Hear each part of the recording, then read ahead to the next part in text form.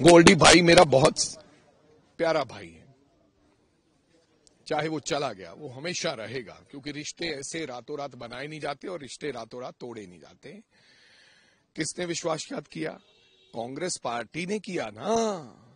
ये वो कांग्रेस पार्टी है जो गोल्डी भाई को ज़मीन से उठाकर, एक आम नौकरी करने वाले के, मेरे जो हमारे अंकल है, वो नौकरी करते थे, छोटी नौकरी। और यूनिवर्सिटी से उठाकर उनको एमएलए लड़ाया, फिर दो दोबारा लड़ाया, फिर पार्लियामेंट लड़ाया।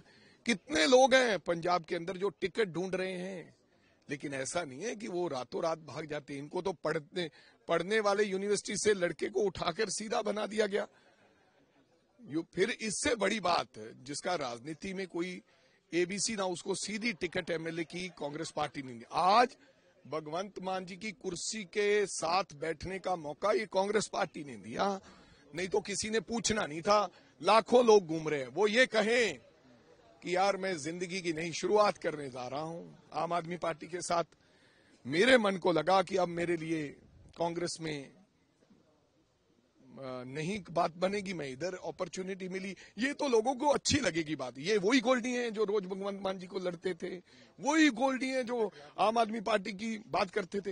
ये वही गोल्डी हैं जो सुखपाल को, खैरा साहब को स्वागत करते हुए ज़ोर ज़ोर से नारे लगाएँगे। अब क्या हो गया? टिकट नहीं मिली।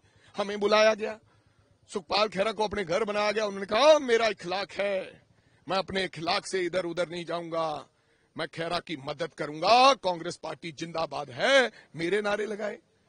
पर मैं कुछ नहीं कहना चाहता बहुत अच्छा व्यक्ति था गोल्डी। वो कह रहे कि बोल बिगड़ गए कांग्रेस के चल। वो यार ऐसे ही करते हैं जब किसी ने जाना होता है बोल भी बिगड़ जाते हैं। दो बातें कहेंगे कांग्रेस के सीनियर लीडर्स के बोल बिगड़ गए हैं बाकी मैं इनकी पोल खोलूँगा बाकी ये है। ये बस इतनी कहानी है। अब पोल भगवंत मान जी कहेंगे यार गोल्डी कुछ तो बोल। सुखपाल खेरा आ गया है। मर जाएँगे। और एक भी बंदा गोल्डी के साथ देंगे अगर सुखपाल खेरा गोल्डी के जाने के बावजूद भी एक लाख वोटों से जीत गया तो?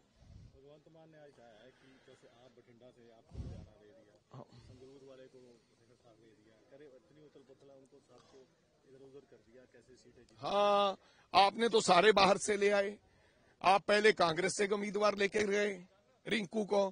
फिर रिंकू बीजेपी में चला गया, फिर आप अकाली दल से ले आए। आपने फतेहगढ़ जीपी को ले आए, कांग्रेस से ले आए, जिसको गाली देते थे। आप फिर चब्बेवाल को कांग्रेस से ले आए, आज फिर गोल्डी को कांग्रेस में ले आए। आपके पास अपना माल क्या है?